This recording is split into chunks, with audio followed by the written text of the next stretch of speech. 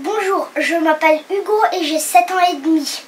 Et je vais vous présenter mon frère est un super-héros.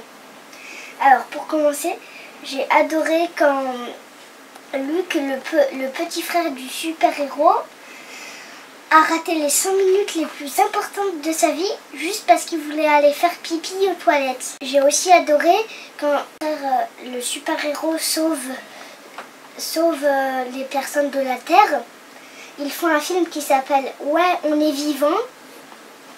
Et à, la, place du petit frère du super-héros, ils, ils, mettent un, ils mettent un chien. J'ai adoré quand Star Mec, c'est le super-héros, il, il soulève le bus avec la télépathie pour sauver les, pour sauver les personnes parce qu'il a complètement déraillé.